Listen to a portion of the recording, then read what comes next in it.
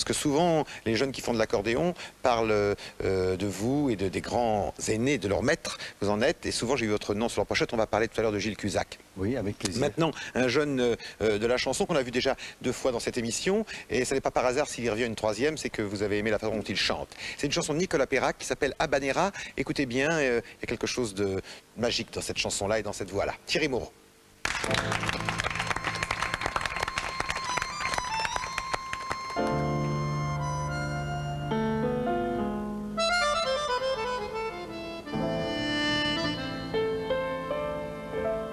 Il va falloir que je me lève, que je brise le sortilège qui m'enveloppe tout à coup. Je ne suis plus bon qu'au kermesse, qu'au bal de la tendre fesse, les gens ne m'aiment plus beaucoup. C'était un accordéon triste qui rêvait d'être concertiste. Il ruminait dans les coulisses d'un bal pour touristes égarés. Égarés. L'accordéon rêvait qu'un jour il s'offrirait le grand amour, il s'habillerait de velours.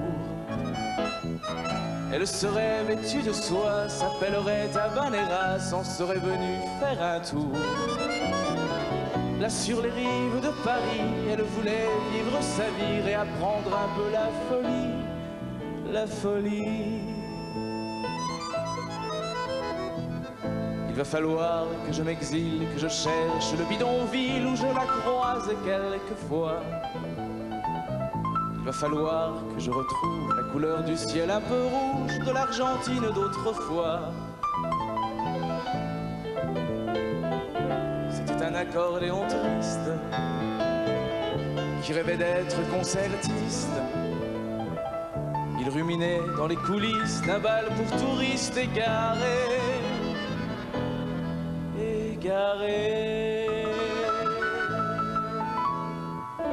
L'accordéon rêvait qu'un jour il s'offrirait le grand amour, il s'habillerait de velours. Elle serait vêtue de soie, s'appellerait Habanera, s'en serait venue faire un tour. Là sur les rives de Paris, elle voulait vivre sa vie, qu'on lui dise tu es jolie. Il lui dit Qu'est-ce que je fous dans ce valoche avec ce dingue qui s'accroche à mon clavier comme un noyer? Je voudrais bien refaire le monde, lui montrer qu'à chaque seconde, cette musique peut chanter.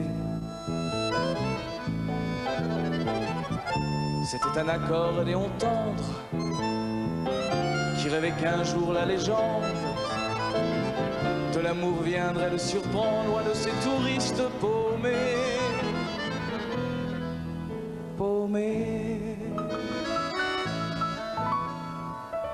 Mais l'accordéon un beau jour a rencontré le grand amour, il s'est habillé de velours. Elle s'était vêtue de soie, se prénommait Habanera, s'en était venue faire un tour. Là sur les rives de Paris, elle viendrait vivre sa vie, qu'on lui dise tu es jolie. Il lui dit.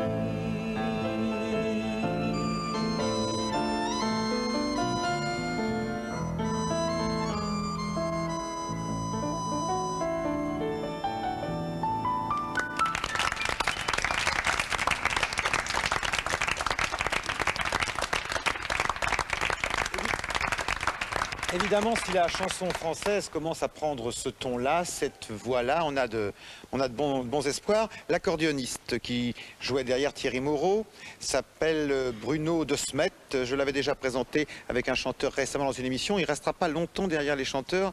J'ai le sentiment, hein, Maurice Larchange, il y a, un, du tout, non, il y a un joli toucher là aussi. hein. D'ailleurs, je le suis de très près. Ah